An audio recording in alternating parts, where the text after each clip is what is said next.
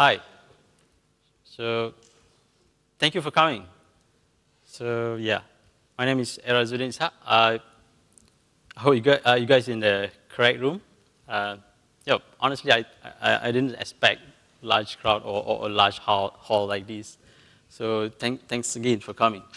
And first and foremost, I think I would like to thank the uh, Danny and uh, his team for making this uh, uh, happening and again uh, inviting me uh, to speak here in, in Auckland. So yeah. So today's talk will be about, you know, a, bit, a little bit about machine learning kind of stuff. So anyone here are Rage fans? Yeah. Cool. So they're kind of uh, my uh, sort of inspiration. So I'm born and raised based on Rage tunes. Uh, yeah, you know. So uh, pretty much the targets of today, uh, uh, about a little bit about myself. What on earth is ML and, and stuff like that. Uh, why we use ML, why we, you know, exploring on ML and for what reason, and a little bit on how to do that based on what uh, my pet project uh, been working around and, and some sort of a little bit work-based uh, project as well, and a little bit of summary.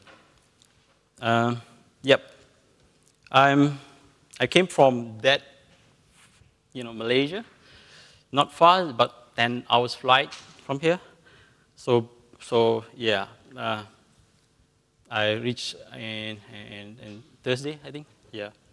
Uh, this is my second time in Auckland. Uh, uh first time is back in four years ago when I, when speak in open source developers conference in, in Auckland as well. So yeah. Uh, uh, my daily dose of work is more about data. It's about streaming data or batch data uh, kind of stuff. Um, I'm also doing solution architecting in here and there, and pretty much everything that my boss asked to do. Same, same as you, I guess. And I try to be Bitcoin farmer, but you know, it's not going to happen, I think, in the near, near time. So yeah. Uh, I was here, uh, I think I started off my speaking uh, adventure back in 2009, uh, basically on, on local open source uh, conference, talk, meetups, barcamp and whatnot. And, you know, uh, been speaking in Manchester, United Kingdom in 2010. Uh, it's pretty much moving around the open source and kind of uh, PHP technology, uh, uh, application security as well. So, yep, 2013, Auckland, Open Source Developers Conference. Anyone been there? I mean, attending Open Source Developers Conference back in 2013? Nope.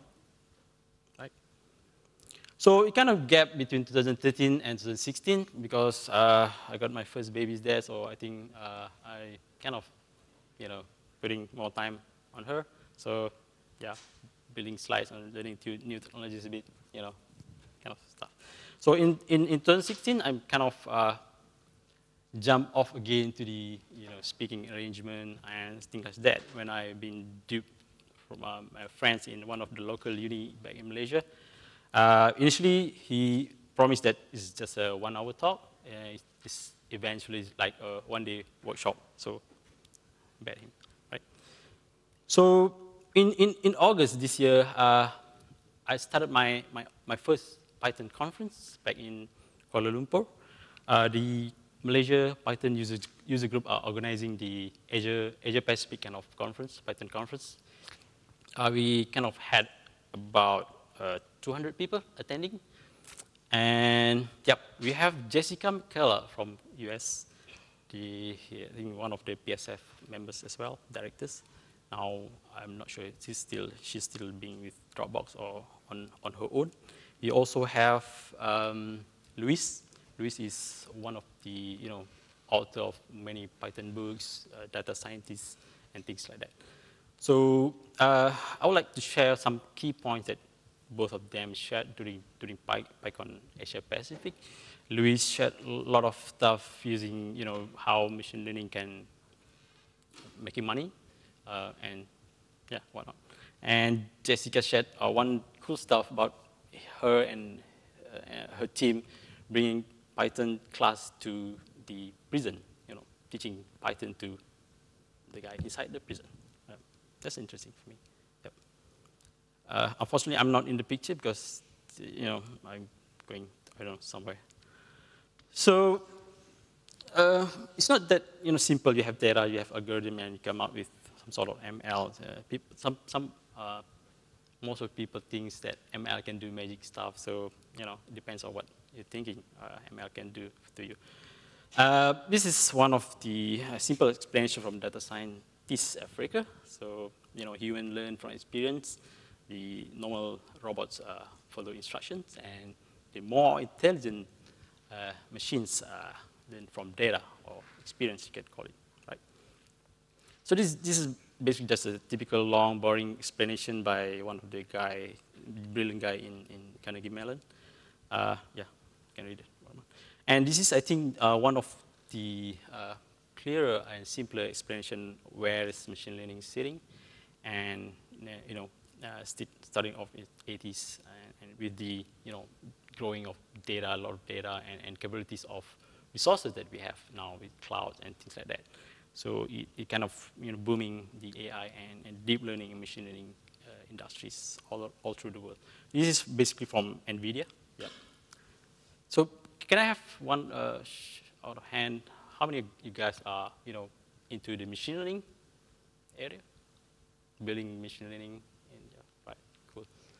Right. So so basically, I'm I'm not a machine learning expert. So we kind of uh, just sharing my experience building stuff in, in ML, uh, not all, but just part of the algorithm, right? So why most guys are, you know, into machine learning? So when, when people like Google, Facebook, and whatnot are, you know, buying startups, buying, buying people into their uh, projects that, you know, uh, most of the tech geeks like us, uh, you know, uh, want to be part of them as well. And this is one of the insights from CB Insights. These are the marketing analytics uh, experts that, you know, you can see that these top guys, uh, Google, Apple, and whatnot, Facebook, Microsoft, Intel, are buying, uh, uh, you know, rigorously buying all these startups to, to, to furnish their technology, furnish their initiative and projects, right? Uh, this is 2000, as of 2017. I guess that next year or next five years will be more, you know, by maybe you should start your own startup in AI or ML soon. Yeah. So yeah, you can see a lot of money coming outflow. So money was one of the you know main point uh, why uh, tech giants are paying sellers to, to AI talents as well. Uh, I guess that's not AUT. So but but universities are losing their their their, their, their top guys in AI. So, and they are not, I mean, compared to those uh, big guys with lots of money, uh, unless you have your own very loyal uh, guy, you cannot, uh, you know, hold them so far. So this is another random, I mean, normal uh, things that you can do with ML as well, from web search up until space. Uh, NASA also using ML, and stock fraud, credit check, banks are using ML and whatnot, right? this is, I saw this news quite frequently. I mean, yeah, why, how one of the uh, Washington County Sheriff Office are using ML to help them uh, identifying criminals by, based on their mug shots, you know. The process is using AWS services, and they are helping, uh, that's really uh, doing stuff that really helps people. Right, interesting. Um, also, this is not basically not my passport, but before coming here, I double, triple check that my passport is in the secure places for my kids, so I'm not having this kind of situation as well. So basically, uh, what we are trying to do is drawing lines through data. With, a lot of data, we, we, we kind of, you know, uh, interestingly, interestingly find out insight based on the data. So this is why I thought I'd draw, delete this as well, sorry. So uh, some, some interesting uh, uh, explanation from uh, Berkeley Machine Learning Group. Uh, some of the reason that you know, how to separate the data based on classification methods. Uh, this is some examples that you can use uh, when you label your, for example, apples and orange. Eh? you can see the, whenever decision boundary being set, this is the lines between your data. So when we have more complicated algorithm or, or, or complicated uh, uh, decision boundary, you can tend to have uh, uh, more interesting lines there. Yep. And the other part is the reg regression, when you want to describe your data. This is example by, by Berkeley, when they want to predict uh, house price based on the, you know, the, the space of the square foot kind of thing. Uh, come up with label data, probability, and, and, and predictor. So uh, this is why we need ML, I think, to define or to, to draw nicely, uh, to, to explain to people uh, how we could use ML to explain to them. Uh, basically, this is uh, one, uh, one of the interesting projects by Brown University, by their, their students. I think this is quite interesting if you want to know more about the, what the meaning of those lines or graphs of charts as far as, my uh, uh, journey with ML, uh, I just started Python, honestly, uh, very deep, just about two years ago. Uh, we, we are building uh, our own big data analytics platform back in Kuala Lumpur, Malaysia. So top-down solutions is based on Python. just recently, I think about six months, we are building our own ML function, ML features in our backend. So what we find out uh, based also based on our findings, so this is, uh, these are the core elements, core features that uh, you, you need to, uh, uh, to dive into if you want to move into ML. So basically, uh, you know, standard formulate problems, design solution, bring up data, technology to, to use, to master, and build your own model. This is the part, evaluate, fine tune, and recreate that, and package nicely. So the first one, uh, this is simple one. Uh, you need to describe uh, what's benefit from your, your solution, your problems, and flow step by step, and make sure everyone is agree, agreeable on that, right? So data, importantly, you need to prepare the right data. Uh, you need to pre-process, you know, repeat the process again until you, you, kind of have a more solid and, and, and uh, uh, uh, the, the very best data that you think that will help you in the, in the end of the project. And remember that when you have your, your better data in your you know, data sets, it, it could be like you know, producing so many outliers uh, uh, in the end. Uh, yep, that's why we choose Python, because they have all for machine learning. And there are a bunch of you know, a cloud-based solutions as well in ML. You can try Microsoft Azure, uh, machine learning, uh, GCP, Google platform as well. Right? Uh, this is uh, by far the most challenging part when you build the model. Uh, you would crash your system, crash your servers, uh, you know, spend a lot of money to build, train, and, and repeat those core processes. And the fine-tuning to get the best data, to, to get the best accuracy level, and how you measure the performance, how you, you, know, you know, train and test all this data. Uh, uh, machine learning mastery, uh, one of the guy uh, core in, in machine learning mastery, this is one of my favorite uh, reference, uh, Jason Brown, Brownlee, doctor. If you know which one algorithm that to use, why, why you use machine learning. Interesting. Uh, yeah, I think the, the, since I'm working with my, I mean, with somebody else, so end of the day, I need to impress the stakeholders, the bosses, right? So you need to package nicely uh, as, as far as whatever been agreed uh, from the earlier phase, earlier phase of the project kickoff. Right. Uh, anyone of you guys have experienced this? This is full-blown, you know, all processors, all I don't know, crazy numbers of CPU usage. This is basically this machine. Uh, 16, 16 gig of RAM and i7 processor. Uh, I don't know. I will discuss this on the end of the slides, but yeah. Right.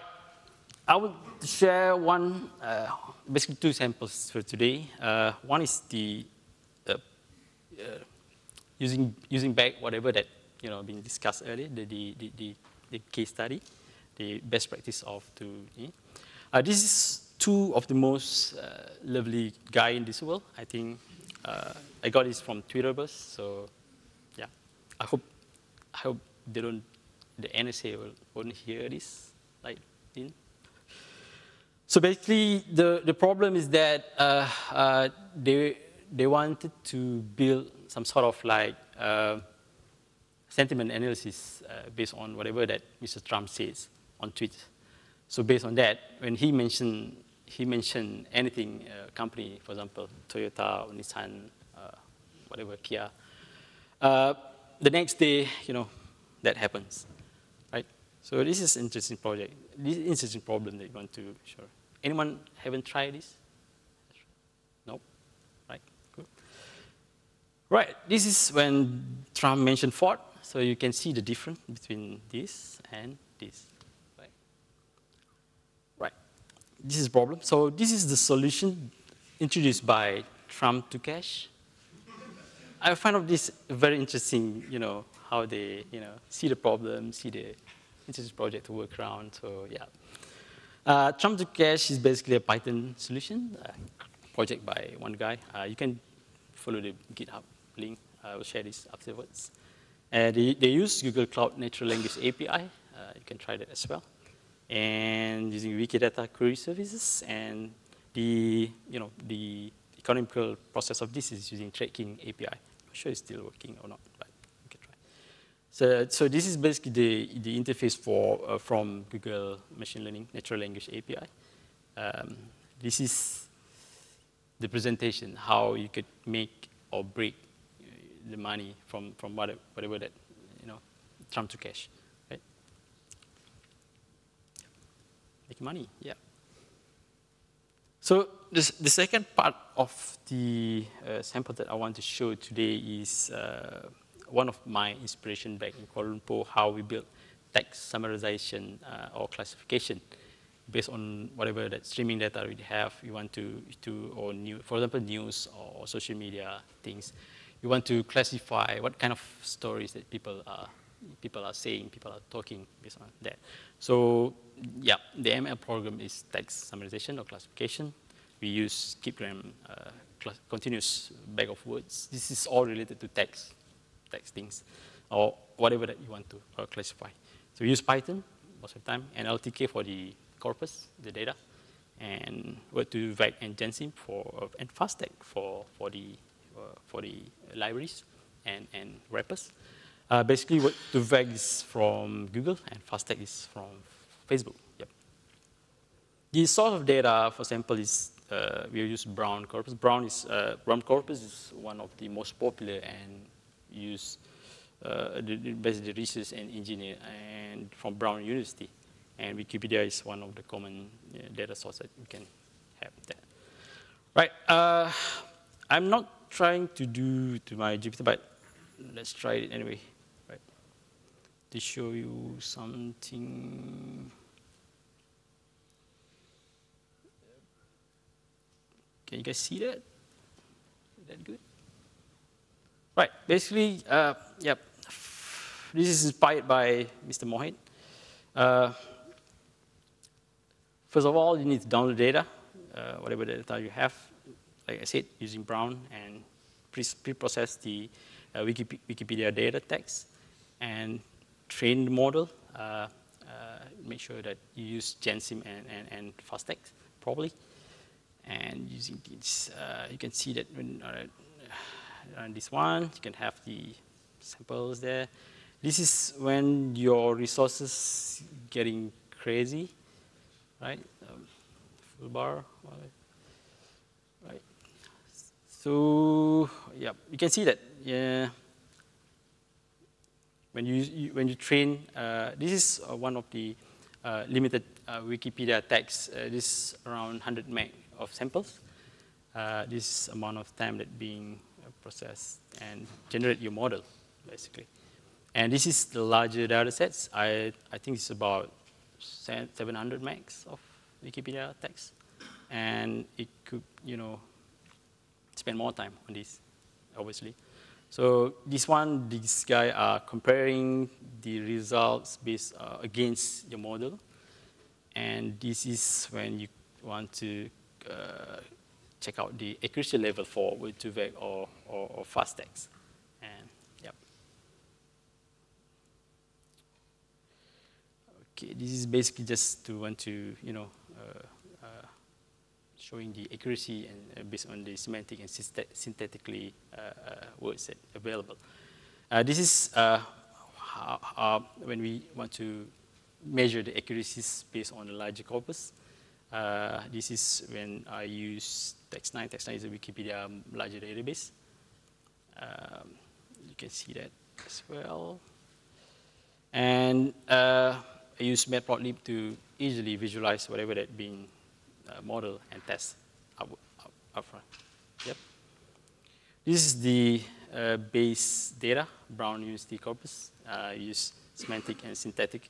You can see that uh, kind of you know, performs a bit better compared to those um, Gensim Word2Vec.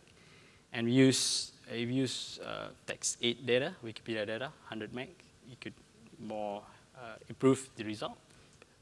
And when using more, uh, a, a, a, bigger set, set of model base is kind of uh, obviously take more time, and but the accuracy level is improved. That's basically what, what I'm share today. Uh, going back to this one.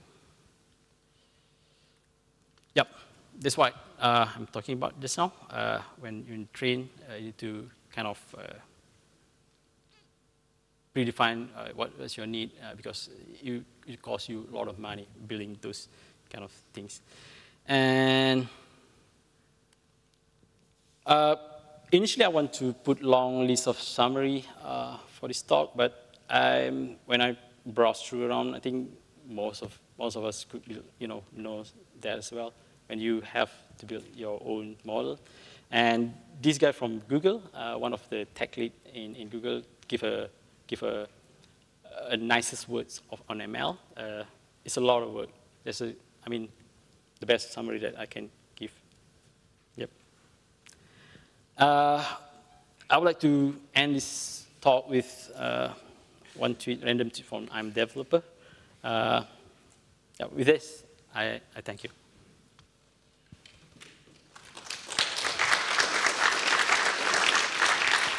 There's any, if there's any question, I'll try to answer.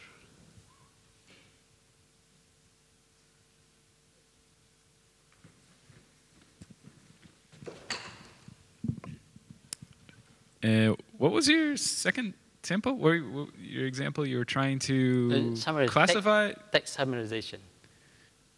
So what do you mean by that? What was the? What, uh, what it's, it's, kind of um, to summarize. Uh, for example, you have a lot of text in one news, right? Mm -hmm. So you want to classify that as uh, you know a, a, national, an economic kind of kind of kind of uh, source or or sports kind of elements in that. So, so you want to, you know, because a lot of data may be talking about different, different, you know, subject. So that's one of my summary.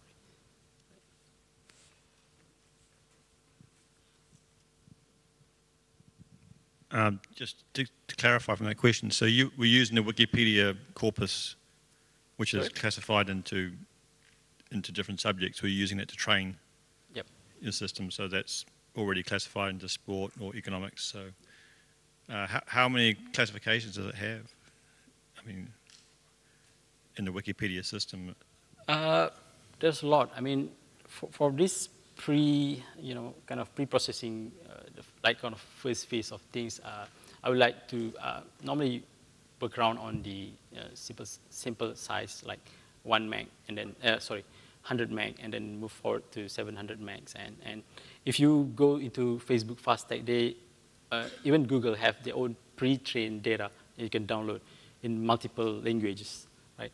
So if uh, working around English is quite simple, quite easy because so many pre-trained data that you can use Wikipedia, uh, Facebook FastText, and things like that. But back in Malaysia, we have a lot of languages like Malay, Chinese kind of things. I believe that in, in, in other parts of the world, like, like New Zealand also have uh, a specific language as well, local language as well. So that's kind of uh, amount of you know, work and data that we, we're working around.